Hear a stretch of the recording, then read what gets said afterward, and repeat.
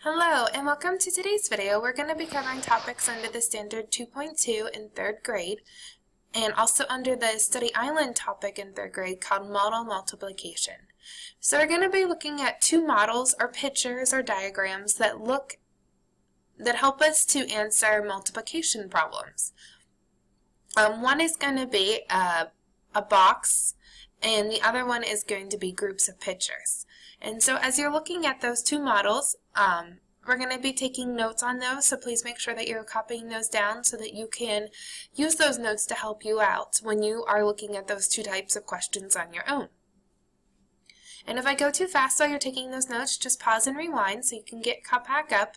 And you can even pause the video at the beginning of a question, work the problem out yourself, and then watch the video to check your answer. And that way you can get a gauge of, okay, this is types of questions I need to study more, or I'm doing pretty good.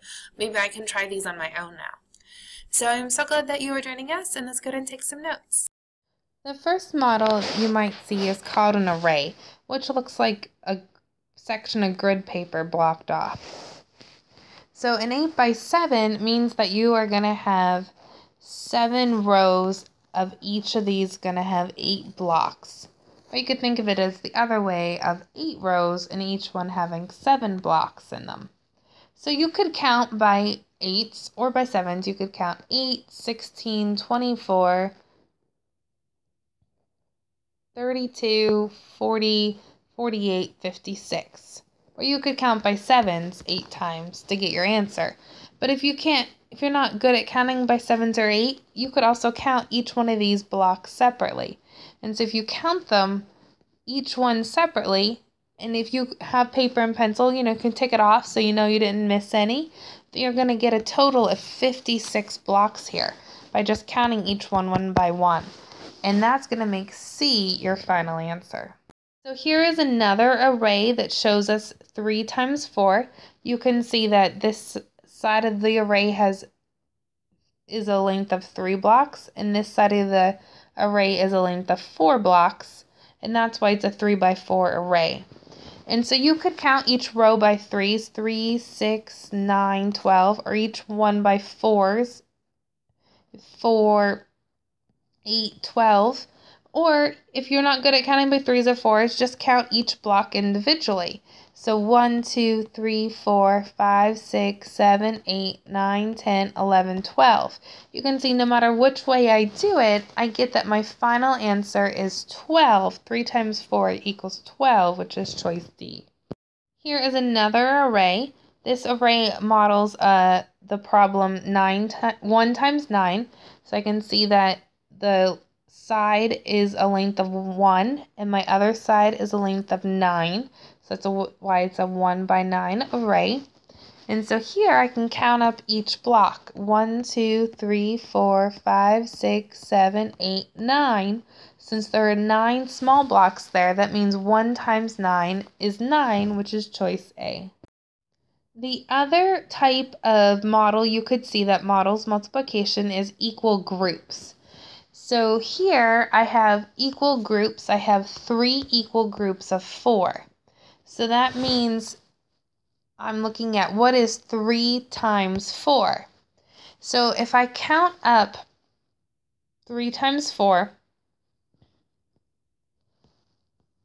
that means I could be looking for a picture that has three cats along one side and four along the other side. So if I look here, this first one, I have four and I have three. So that's a hint right away that that's going to be probably going to be my answer since I have three groups of four up here and the sides here is three and four. The way to double check that is just to count up. Do I have the same amount of cats in the problem as I do in choice W? So in my problem, I have 1, 2, 3, 4, 5, 6, 7, 8, 9, 10, 11, 12 cats. And then in choice W, I have 1, 2, 3, 4, 5, 6, 7, 8, 9, 10, 11, 12 cats. So they both have 12, so that means W is definitely going to be my answer, which is choice C. The next problem is another example of equal groups. So you can see here I have 1, 2, 3, 4, 5 groups. And each group has one, two, three, four, five, six, seven, eight soccer balls in it. So that means here that's modeling the problem 5 times 8. So that means if I have an example here that has 5 soccer balls on one side and 8 on another, that could be my answer. So if I look here, I have 1, 2, 3, 4, 5. 1, 2, 3, 4, 5, 6, 7, 8. So that means this choice W could once again be my answer. The way to double check to make sure 100% sure is to count up all of the soccer balls. So have 1, 2, 3, 4, 5, 6, 7, 8, 9, 10, 11, 12, 13, 14, 15, 16, 17, 18, 19, 20, 21, 22, 23, 24, 25, 26, 27, 28, 29, 30, 31, 32, 33, 34, 35, 36, 37, 38, 39, 40. So there's 40 soccer balls in my problem. And I'm going to go ahead and count by fives here to make sure that there's 40 in W also. So 5, 10, 15, 20, 25, 30, 35, 40. So there's 40 in W also. So that I just double check that W is my answer, which is choice A. So in this problem, I have four groups and in each group, I have one, two, three, four, five, six, seven, eight, nine bees. So that means this problem here is modeling 4 times 9. And so I want to see if I can find an example that has a 4 bees on one side and 9 on another. So I have 1, 2, 3, 4, 5, 6 on this side. And then 1, 2, 3, 4, 5, 6 on my other side. In letter X, I have 1, 2, 3, 4, 5.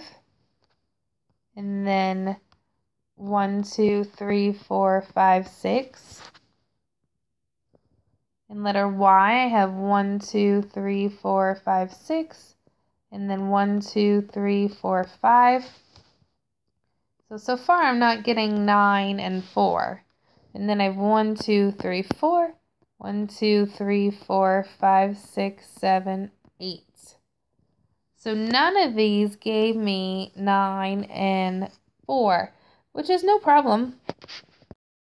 It just means that they rearranged the bees. And so that means here I could actually have to count them. So if I count by nines, that's going to be 9, 18, 27, 36. There's a total number of 36 bees up here. If you aren't good at counting by nines, then you just have to count each one separately. And maybe do it twice to make sure to double check yourself. And then here, I can count each row, or I can count by ones if that's easier for you. So here, each row has six, so that would be 6, 12, 18, 24, 30, 36. So once again, that W, just by chance, also has 36 bees in it like the problem does. So that means that W is going to be my final answer, which is choice B. Here's one last problem that shows us equal groups. I have two equal groups here, and in each of the groups, I have one, two, three, four, five, six, seven, eight, nine objects. So that's going to model 2 times 9. And so as I'm looking through my answers here, I see that I have 3 here and 6. And then I have 3 on this side and 5 on this side. I have 4 on both sides here. And then I have 5 and I have 3. None of those are 2 and 9.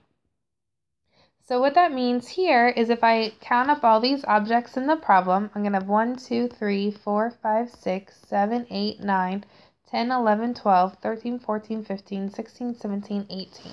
That means 2 times 9 here equals 18. So that means either 3 times 6, 5 times 3, 4 times 4, or 5 times 3 is going to equal 18 also. So then I just have to count up all the ducks in each box to see which one also has 18. So 1, 2, 3, 4, 5, 6, 7, 8, 9, 10, 11, 12, 13, 14, 15, 16, 17, 18. And here choice W also has 18 by coincidence, which is going to be choice B. If you want to practice these problems at home, you can feel free to set up different problems like this where you put equal groups of buttons or skittles or some small object and then rearrange them into different arrays with different sides so you can actually touch and feel how these work also. So I'm so glad that you joined us today and thank you. I hope you learned something new.